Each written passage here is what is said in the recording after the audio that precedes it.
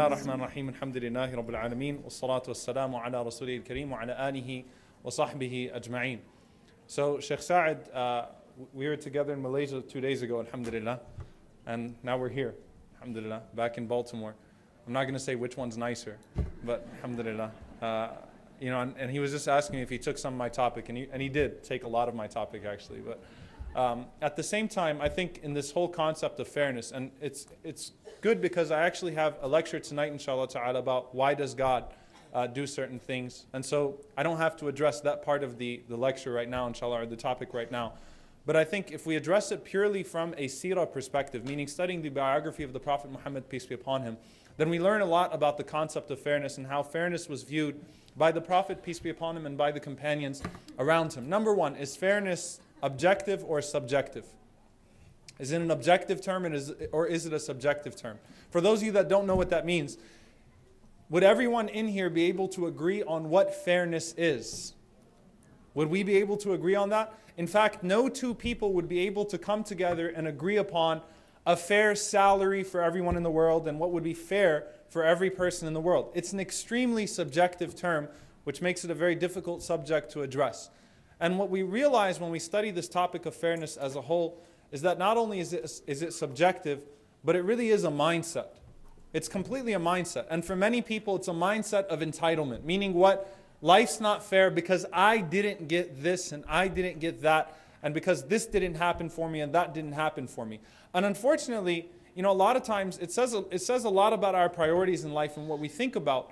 Because a lot of times you don't have your faith crisis, you don't start thinking about life not being fair because of the children that are starving in Africa or in Syria or whatever it may be. You start thinking that life's not fair when you didn't get into med school or when you didn't marry the person that you wanted to marry. Right? That's when you start questioning God and that's when you start questioning the fairness of life. That's a greater crisis to you than the other stuff that was going on in the world. And you started using the other stuff in the world because now you're depressed and now life wasn't fair to you. And you're complaining, and while you're complaining, you get to a point sometimes where you accuse God Himself, Allah Himself, of being unfair, which is the discussion tonight that I'm not going to touch.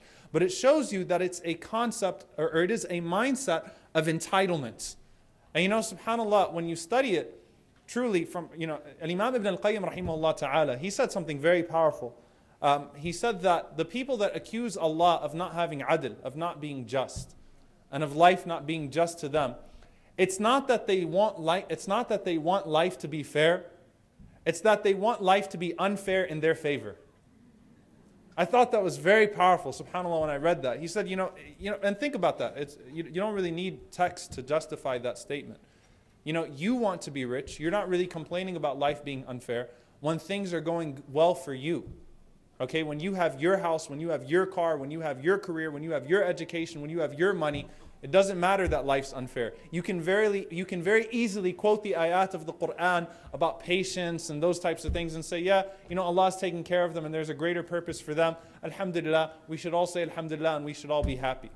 It's not, it's not a problem when it's unfair in your favor. It's a problem when you feel like you're getting the bad end of it. And you know, again, it's so subjective that I'll share with you all a personal experience. I had someone in my office, in my masjid, uh, three years ago.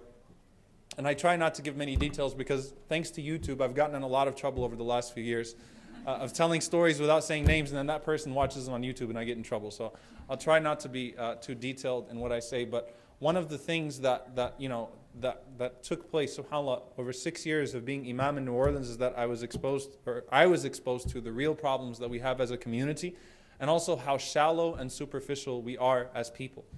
And you know, so I had this brother in my office and, and he's crying. And I was wondering why he's, you know, I thought something tragic happened in his life and, you know, he lost his job or something happened. But, you know, instead, what he's talking about, he's saying that, you know, life's been tough recently. And he lives in a really nice house, mashallah, great car, very rich, very wealthy, has several kids. And he says, life's been tough recently, you know, and, you know, things are getting really tough. And he said, but I don't know, you know, sometimes I question Allah. And I said, oh, you know, a'udhu billah, what's going on? And he starts telling me, he says, you know, every year I take my kids to Europe for a vacation. And he said, this year I don't have enough money to take my kids to Europe for a summer vacation. What am I supposed to tell my kids when they come to me and tell me, Dad, why aren't we going anywhere this summer? that was his faith crisis. to him, that was life being unfair. And I'm sitting there looking at him like, and what else happened? But to him, that's life being unfair. And what does that show you? Again, it is a mindset. There's a very powerful hadith. Very, the hadith is in Sahih Muslim. It's narrated by Abdullah ibn Amr ibn As anhu, if my memory does not fail me. I think it's from Abdullah ibn Amr ibn As in Sahih Muslim. The Prophet ﷺ says, قَدْ أَفْلَحَ مَنْ أَسْلَمَ Verily, he has succeeded who has submitted himself. Sheikh Sa'id talked about the Islam part. Submitted himself. It's a prerequisite to everything that comes next in the hadith. قَدْ أَفْلَحَ مَنْ أَسْلَمَ وَرُزِقَ كَفَافًا And he was given enough. Kafaf means to be given just enough. And listen to the last part of the hadith. وَقَنَّعَهُ اللَّهُ بِمَا أَتَاهُ and Allah subhanahu wa ta'ala convinced him or satisfied him with what he gave him. So what does that show you? That these two, that these two things that were just mentioned uh, don't always come together. You might be given enough, but you're not convinced with what you have and you're not satisfied with what you have. So the Prophet ﷺ said, the one who really succeeds in life and the one who's really happy in life is, is the one who has submitted himself, who has, who has attained that peace through Islam, was given enough and Allah satisfied him with what He gave him. Allah convinced him. Qana'a is, is literally to be convinced. It's not rida, it's not necessarily satisfaction or contentment. It's literally to look at yourself and say, Alhamdulillah, yeah, you know, this is good, this is great. And when you look at the Prophet, peace be upon him, the Prophet, peace be upon him, went through many stages in his life. And that's why I say we can justify this through a seerah perspective. And Imam al Qurtubi in particular, rahimahullah, he says that the Prophet, peace be upon him, was tested with every phase of life. He was tested with wealth, with ghina. He was rich Sallallahu alaihi wasallam, he was rich. After he married Khadija radiallahu anha, until the time that he received his revelation, he was a rich man. He became a wealthy man. And he passed the test of wealth. That's what he said. وَأَحْسَنَ فِي غِنَائِ He passed the test of al-ghina. How did, how did he pass the test of al-ghina? Because when he was rich, what did he do? He freed slaves. He took care of orphans. He didn't become arrogant as a result of his wealth. His personality did not change at all. Right? The Prophet, peace be upon him, did not change as a result of being wealthy. And, and in fact, those were the words that Khadija radiallahu anha shared with the Prophet, peace be upon him, when he came down from Hira, right? La yukhzik Allahu abada. Allah will never humiliate you. Why? Because look at all the great things that you do. You know, you do well by orphans and, and your guests and your neighbors and your family. You do well with people. You do what you're supposed to do. And Khadija has been rich longer than the Prophet, peace be upon him. She knows that most rich people are snobs. They don't do that stuff. He passed that test. Then Imam al-Qurtubi said, Allah stripped him of everything and tested him with poverty, with al-faqr. Absolute poverty. The Prophet, peace be upon him, experienced poverty in its worst form. Not only did he experience poverty from a financial perspective, but you know, truly, as, as Sheikh Sa'id mentioned, everything was taken away from him. Everything was taken away from him. His wife, his uncle, his protection, everything. His support from his tribe, his land, his home. I mean, everything was taken away from him. And he said that the Prophet, peace be upon him, passed the test of poverty. أحسن في فقره صلى الله عليه وسلم. He passed that test. Why? Because he showed a beautiful patience. He demonstrated truly sabrun jamil, a beautiful patience. Not only was he patient because he had to be patient, he demonstrated a, a satisfaction with God, a contentment with God. And the only thing he cared about in those moments of poverty was God not being displeased with him, was that poverty not being a manifestation of Allah's displeasure, because sometimes you question yourself in poverty. And that's a mistake in mindset. That's a mistake in the way we think sometimes. It's called the prosperity doctrine. Almost every religion in the world has some form of the prosperity doctrine. Okay? Whether it be the Eastern religions and Hinduism, the caste system, or even in evangelical Christianity today, that when God loves you or whatever divine presence loves you, you're well off. And when God doesn't love you, then you're not doing too well. But Islam preaches the exact opposite. Right? When Allah loves you, He tests you. When Allah loves you, the Prophet ﷺ, he said that Allah withholds the water, withholds the world from you the way that one of you would withhold water from one who has a fever. Meaning what? Someone who's sick in, in that particular sickness, he thinks that, the, you know, or, or, he wants that water. You know, uh, if you, you know, well, I want to say if you've seen a woman in delivery, right? Sisters, those of you that went through delivery, and brothers, those of you that saw women going through delivery and were terrified and thought that your wife would kill you, all right? Uh, at that moment, you know, whenever a woman really wants to drink water, and you know, I remember being put in that situation. I don't want to go too far into detail, right? But my wife really, really wanted water, and the nurse said no. And my wife looked at me like, Are you going to listen to the nurse? like, this is a pretty awkward situation for me right now, right? She really wants that water at that moment. Really, you know, when you're, you're sick. And the Prophet ﷺ said, Allah withholds the dunya from you the way you would withhold water from, from, your, from your saqim, from your, from your person who's sick, who has that fever at that moment. Meaning what? It goes back into addictions. Don't expect Allah to feed your dunya addictions. And it's for your own good. Right? So the believer recognizes, even in his poverty, that when Allah withholds, He gives. He gives you something greater than what He withheld from you. And that's exactly what happened to the Prophet, peace be upon him. Then he said that the Prophet, peace be upon him, was put in a state of al kafaf. Al kafaf means to just have enough, literally just enough to survive. And the Prophet, ﷺ, his kafaf, his just enough to survive, would have been considered poverty by any one of us. What the Prophet lived through, wasallam, would have been considered poverty for any one of us. He never had two meals a day. Wouldn't we consider that poverty? Aisha radiallahu anha, she said, we never had two meals a day except that one of them was dates and water. Meaning what? It wasn't really a meal, we just had a few dates and water. Months would pass without any smoke coming from the house of the Prophet, ﷺ, meaning he didn't have a cooked meal. He never enjoyed fine bread, a fine loaf of bread. That's poverty to us. The Prophet's house, his hujr, you know, his hujurat, the, the, the apartments that the Prophet ﷺ lived in were so small that when he would make sujood, when he would prostrate, he would tap Aisha on the legs so that she could move her legs up so that he could have enough space to do his sajda, to prostrate. If any one of us saw that, we'd say that's poverty. To him, that was enough. And you know what's amazing is that the Prophet ﷺ, he was satisfied with what he had. But you know what? Some of the companions thought, hey, that's not fair. And so Umar bin Khattab radiallahu anhu, when he walks in the Prophet's house and he sees the Prophet getting up from his bed, and his bed is just some branches stuffed with leather, and you know, and he sees the marks on the Prophet's back, he starts to cry. And the Prophet says, Why are you crying? And what does Umar say? He says, I've seen the palaces of Kisra. I've seen the palaces of, of, of Kisra in Persia and of Caesar in Rome. I've seen what other kings live like. And you deserve better than that. What's Omar telling the Prophet? ﷺ? This isn't fair. Right? You shouldn't live like this. Life's not fair to you. You shouldn't have to live like that. You're the greatest man in the world. You're the Prophet. And all of us would agree that we would want him to live a better life in this world. Right? We would have wanted for him to have more ease. And it's, it's, it's really interesting because put yourself in the Prophet's shoes at that moment. The Prophet did not say to Umar, well, yeah, you guys should probably do something about that. Right? Now that you're upset about it, why don't you guys go build me a house or something? The Prophet he says to Umar, ألا ترضى, aren't you satisfied? أن لهم الدنيا ولنا الآخرة that they have the dunya, they have this materialistic world, and we have the hereafter with complete conviction. Look, the Prophet ﷺ is telling Omar, don't think life's been unfair to me. You're worried about me. I'm fine. I'm happy. And in fact, the Prophet ﷺ, he used to ask for this. He didn't used to ask Allah subhanahu wa ta'ala for a lot. He used to say, Allah marzuq ala Muhammadin quta.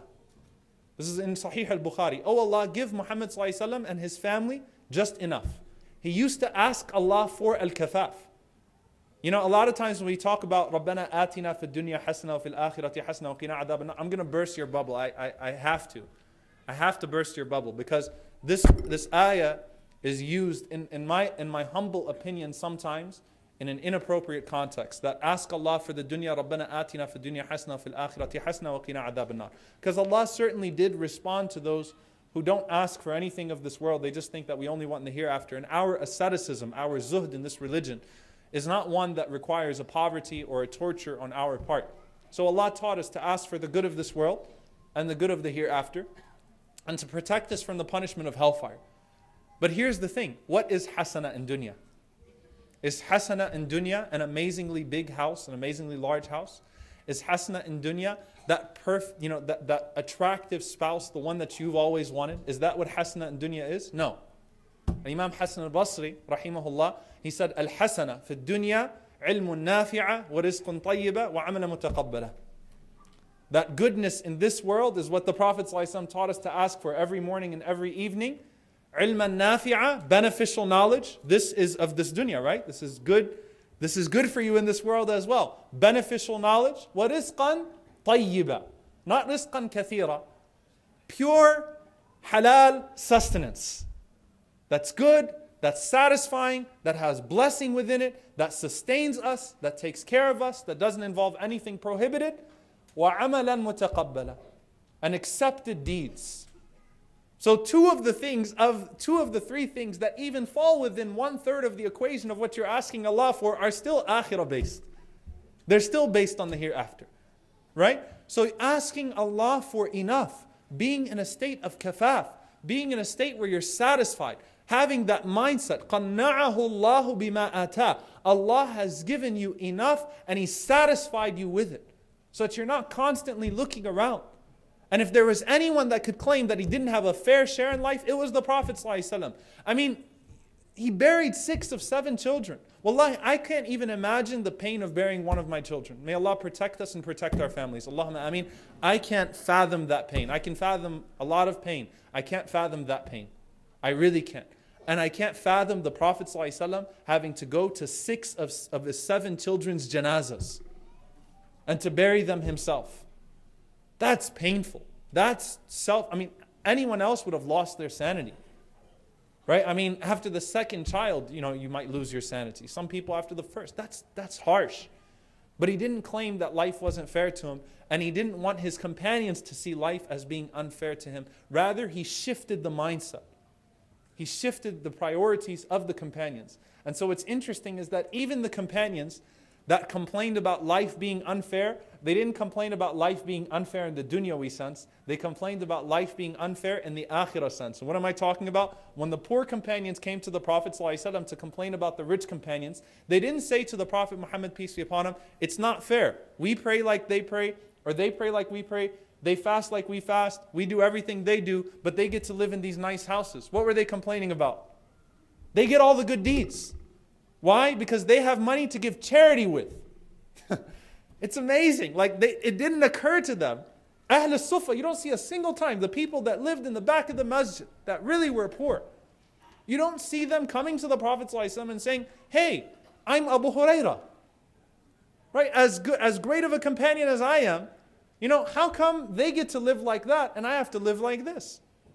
Even Rabi'a ibn Ka'b al-Aslami, who the Prophet ﷺ told him, Ask me. You have a blank check. Can you imagine if the Prophet ﷺ was in front of you and know the Prophet ﷺ is not a fictional blue genie? He's the Prophet of Allah. And he says, Salni, ask me anything. And Rabi'a is a young, unmarried, homeless man. Think about that. And he says, Murafaqatak, your companionship in paradise. that's all. The Prophet ﷺ says anything else, right? Like that's a given. You know, you're, you're my companion. You know, I, I love you. Clearly, I love you. ahbabt. We already know it's an established concept in our religion. You are with the one that you love. You'll be okay with that in that sense. Anything else? You know, you're sure you don't want me to throw in a wife there? Right? Or a house? Anything else? Rabi'ah said, That's it. That's all I want. So the poor companions, when they came to the Prophet ﷺ and complained about the rich companions, they weren't complaining about their worldly situation. They were, they were upset because they thought they have more money than us, which they did. And they give more because they have more to give. So then the Prophet ﷺ told them what? You know, let me teach you something that you can give sadaqah with as well. Say subhanallah, alhamdulillah, Allahu Akbar. The, the, the remembrances that we do after the prayer. So the poor companions got excited.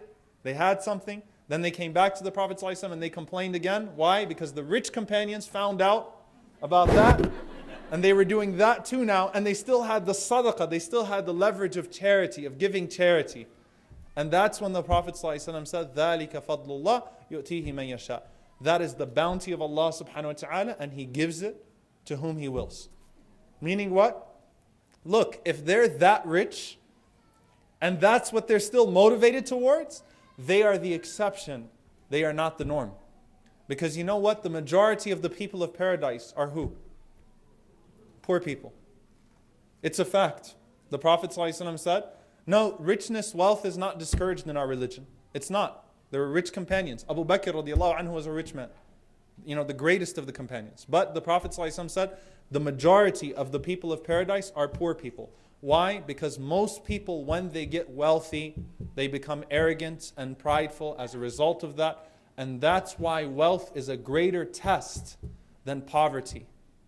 Wealth is a greater test than poverty because we understand things in the absolute sense. Our understanding of fairness and justice is not limited to whatever years we have on earth. Wealth is a greater test than poverty.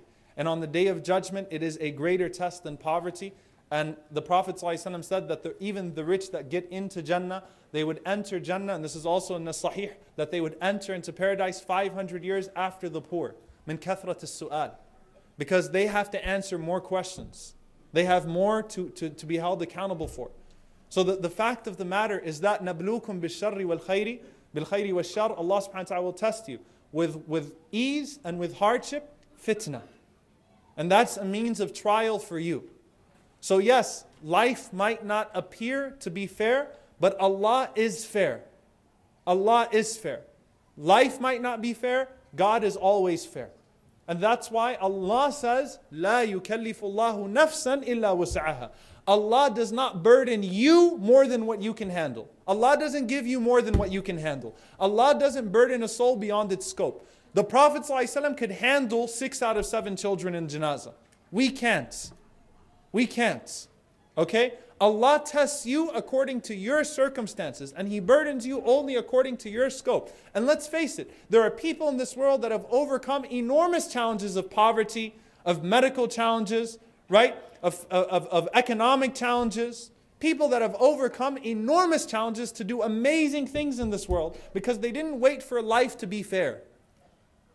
Right? And that's just the, that's the, the, the harsh reality is that life will not wait for you to adjust your mindset. Okay, for you to have a boost of self esteem. It's going to come at you when it comes at you. You have to be ready for it and you have to adjust your mindset. And the more time you waste talking about, well, my parents were like this and my environment's like this and in this country we have this and you know, I didn't financially have this or that, then you're going to be in trouble. And I'll leave you guys with a story. It's, this is a very interesting story because I was reading it, subhanAllah Actually, I was just reading it yesterday. I wasn't planning to share it in my talk, but I think it's relevant. I was reading a, a biography of an Imam Ibn Hazm, rahimahullah ta'ala. Ibn Hazm was a very rich scholar. Ibn Hazm, a scholar of Andalus, was a very rich man. And he used to get into a lot of debates. That's one of his flaws as, as, as a man was that he got into a lot of debates and sometimes became pretty rough in his debates, but we take the good. Obviously, as Muslims, when we study the biographies of the people of the past, we take their good and we overlook their flaws because of the enormous good that they put forth. So Ibn Hazm used to engage in a lot of debates. So in one of these debates, he was debating a scholar from a more humble background. And Ibn Hazm won the debate. Right? Because Ibn Hazm was able to recall a text that the other man was not able to recall. So the other man throws a cheap shot at Ibn Hazm. Here's what he says. And I'm trying to translate instant translation in my head. But he said to Ibn Hazm that perhaps I didn't see that because the oil from my candle ran out. You guys see it? What he's saying to him? He's like, Look, I don't have the lights that you have in your house, mashallah. I only had this candle that I was reading and I was studying for the debate for. So maybe the oil ran out, and that's why I, I, I overlooked that text that you were able to recall and win the debate with. And Ibn Hazm, he said, Yeah, and I had a difficult time seeing it as well under the golden chandeliers in my house. what was he saying to him? He was saying that just as you are distracted by your poverty, and he didn't literally have golden chandeliers, he said that wealth is usually a distraction for people from knowledge. So your candle is a distraction, my chandelier is a distraction as well. No excuses. So he won the debate again. So we ask Allah subhanahu wa ta'ala to allow us to be amongst those that are satisfied with what has been given to us. And we ask Allah subhanahu wa ta'ala to make us pleased with Him, both in the legislation that He's given to us in religion and in the legislation of events that will take place in our lives. And we ask Allah subhanahu wa ta'ala to make us amongst those that are ultimately, ultimately pleased with Jannah, with paradise. Allahumma ameen. I'll cover the other side of this topic, which is whether or not God is fair then, inshallah ta'ala, tonight uh, in the discussion, which I think is really late night. So if you guys are awake, then inshallah ta'ala, see you then. Jazakumullah khairan. Wa.